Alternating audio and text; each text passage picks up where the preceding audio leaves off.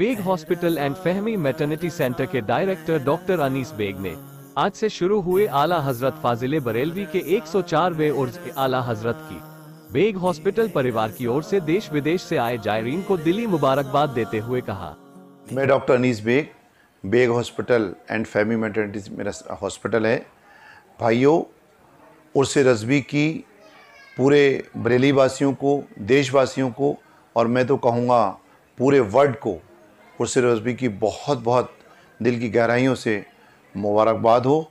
और भाइयों जैसे आपने सुना है कि उर्स रजबी आज से स्टार्ट है लगातार तीन दिन चलेगा। तो आ, बिल्कुल अमन और चैन से उर्स रजबी मनाएँ। जैसा कि आला हज़रत ने एक अमन और चैन का और सुनीत का पैगाम पूरे आ, पूरे ही भारत, पूरे भारत में नहीं, बरेली में नहीं, पूरे वर्ल्ड में फैलाया है।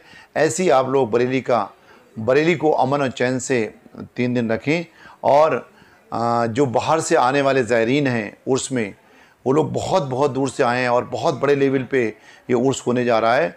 तो मैं ख़ास तौर से बरेली वासियों से गुजारिश करता हूँ कि आप लोगों के मेहमान हैं ये लोग, बाहर से ज़ायरीन आने वाले।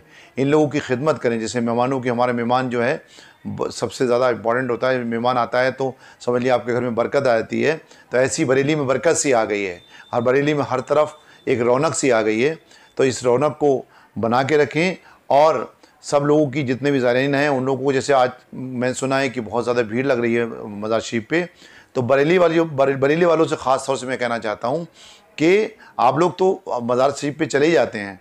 तो आज ना जाके, कल ना जाके, परसों ना जाके आप कभी भी जा सकते हैं, लेकिन बाहर से आने वाले ज़ायरीनों को ज़रूर जाने दें और उनकी मदद करें, उनको खाने में मदद करें, उनको ठहरने में मदद करें कि वो आपके मेहमान हैं और एक पैगाम दें कि बरेली शरीफ आला हज़रत का बरेली शरीफ है। बरेली शरीफ, ये अमन और चैन का बरेली शरीफ है। ये बरेली शरीफ का नाम आप ही के दम से है। अगर आप लोग चाहेंगे तो बरेली शरीफ ये पूरे वर्ल्ड में एक फ़ेमस हो जाएगा, आला हद के नाम से। और आज मैं ये भी कहना चाहता हूँ कि आला हद ने वो पैगाम दानी दिया है अमन चैन का, पूरे वर्ल्ड में और सुनीत का, जिसे ना दिया है, ना कोई शायद मुझे लग रहा है दे सकता है।